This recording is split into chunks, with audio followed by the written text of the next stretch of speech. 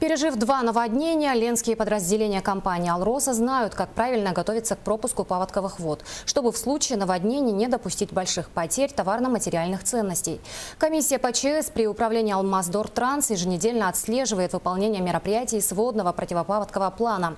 Подробности смотрите далее.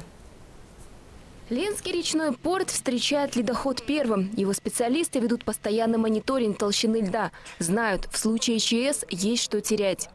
Речной порт прикладывает все усилия для того, чтобы не, на, не было нанесено э, ущерба.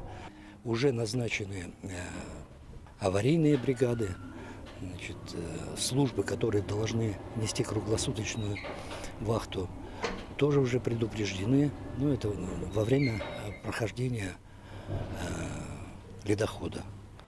Замеры показывают, толщина льда тоньше, а уровни воды ниже, чем в прошлом году. Прогноз опытных речников благоприятный. Такой же у специалистов КЧС при управлении «Алмаздуртранс». Но он никак не сказывается на ходе подготовки к паводку. Все мероприятия сводных планов по подразделениям выполняются под строгим контролем руководителей. Исходя из тех двух э, страшных наводнений, предприятии сделано было много подготовительных мероприятий, которые позволили э, в последующие годы опробовать механизм спасения наиболее дорогостоящего оборудования.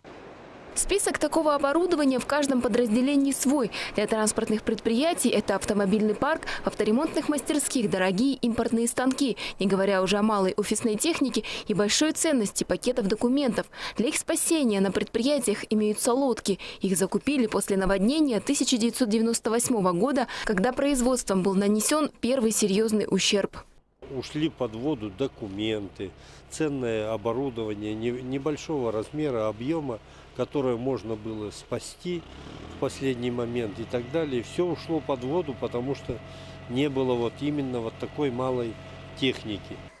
С начала года и до момента, когда ледоход покидает территорию Ленского района, в управлении «Алмаздуртранс» работает комиссия по чрезвычайным ситуациям. В ее состав входят руководители подразделений и специалисты по промышленной безопасности. На еженедельных планерках проверяется исполнение протокольных заданий внутреннего распорядка и вопросы сводного плана по муниципальному образованию. Все подразделения «Алроса» в Ленске входят в инженерное звено системы РСЧС.